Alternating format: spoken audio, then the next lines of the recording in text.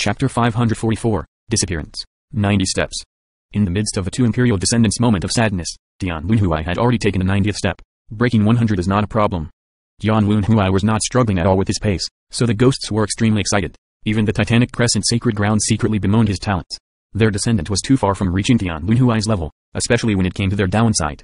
Li Qiye saw Tian Lunhui take 90 steps and smiled before declaring, Interesting, my turn to catch up. He then placed his foot into the pond. After Li Qiye entered, Lan Yunzu began counting right away. One, two, three, four, five. Fortunately, she was ready this time and was able to keep up with his pace. Li Qiye has entered. His entrance into the pond quickly attracted the attention from the ghosts. Can he catch Sir Tian Lunhui? Seeing his quick pace left the ghost expert nervous. HMPH, Sir Tian Lunhui is the strongest genius of our race. Even if Li Qiye catches up, he still might not be able to beat Sir Tian Lunhui. The last person to persevere is the winner. There is nothing great about being able to walk so fast. This ghost cultivator only made it halfway before shutting his mouth. 90th step. Amidst the anxiety building up within these ghost cultivators, Li Qiye had already taken 90 steps, shutting up the ghost cultivators who held him in disdain. They couldn't even swallow their words in time. Is this brat still a human? Even an old undying from the ghost race cursed in his mind. In an instant, Li Qiye had caught up to Tian Lunhui. Inside the pond, Li Qiye looked at him in the distance. Li Qiye then commented, Incredible talents. To be able to study the origin grand Dao with the ghost race means that you are qualified to become an immortal emperor. Alas, it is a misfortune that you were born in the same era as me. I have seen your Grand Dao. Now it is your turn to watch. Having said that, a bright light suddenly flashed as if it was the Grand Dao blooming, like a caterpillar metamorphosing into a butterfly. Li Qiye then went deeper into the pond as if he was blessed by a god. His speed was as fast as if he were flying. Li Qiye was too fast so Tian Lunhui couldn't stop himself from looking with his heavenly gaze. After seeing the expansion of Li Qiye's Grand Dao, his expression greatly changed for he had lost his composure. On the other shore, Tian Lunhui studied the Grand Dao and had an initial form in his mind. He didn't know that Li Qiye had also learned a unique Grand Dao and had created its initial form as well. This Grand Dao was much further along than Tian Lunhui's own. 111, 112, 113.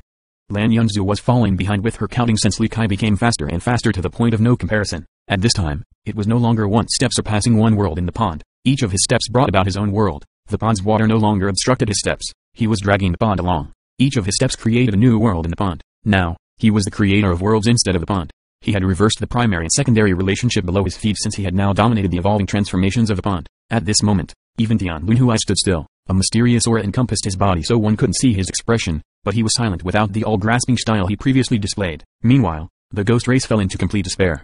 Li Qiye had shattered the pride of the ghosts as he drifted like he was flying inside the pond, completely leaving Tian Lunhui behind. Before, they still had some hope of Tian Lunhui beating Li Qiye, but now, even if Tian Lunhui could take the 100th step, he would still be unable to defeat Li Qiye. The eventual victor was too apparent. At the same time, a murderous glint as cold as mist appeared in the Phoenix Maiden's eyes. She recognized the dangerous existence that is Li Qiye and placed him as the number one enemy of her husband. Li Qiye was no longer a simple, budding threat. She felt that without eradicating Li Qiye, her husband definitely would not have the chance to shoulder the heaven's will. It was not because of a lack of confidence in her husband, but because Li Qiye was too frightening and devilish. She realized that there would be no peace unless Li Qiye was annihilated. She trusted her intuition since it had always been on point. At this moment, she thought of many different plans to destroy Li Qiye no matter the price. She had to eliminate her husband's number one enemy. 150. At the 150th step, Lan Yunzu suddenly paused and hesitated since she couldn't count any longer.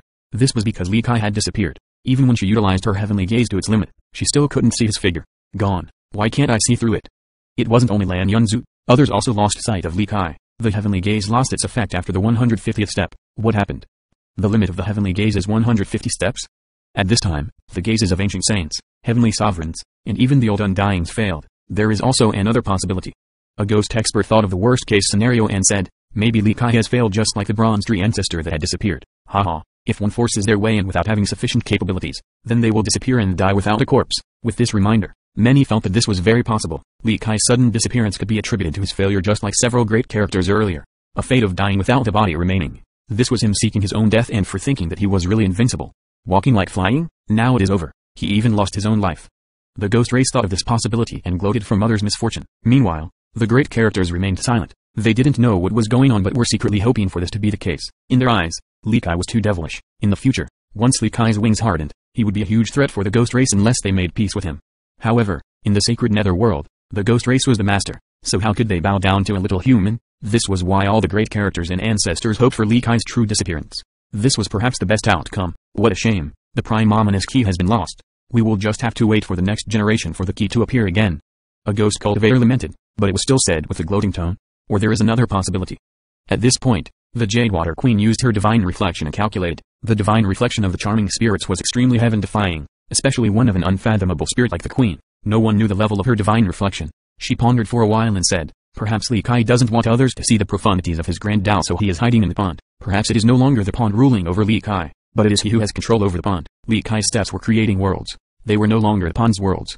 Compared to the other ghosts, Tian Wenhui appeared to be calm, not happy or proud. He kept on using his heavenly gaze to scan the water's surface, hoping to find traces of Li Qiye. At this moment, he was no longer in a mood for competition because Li Qiye's Grand Dao had shaken his mind. Tian Wenhui had studied the origin Grand Dao of the ghost race, but it seemed as if Li Qiye's Grand Dao was even more heaven-defying, so much so that it escaped the boundaries of Grand Dao. This was why Tian Wenhui wished to see Li Qiye's Grand Dao once more, aiming to see through its mysteries in hopes that he might learn something from it. Unfortunately, regardless of his efforts, he couldn't see Li Qiye's shadow. In fact, on the other shore, the Grand Dao Li Qiye learned from observing the nine ants had escaped the boundaries of Grand Dao. Because of this, it was understandable that the Tian Wenhui would be dumbstruck.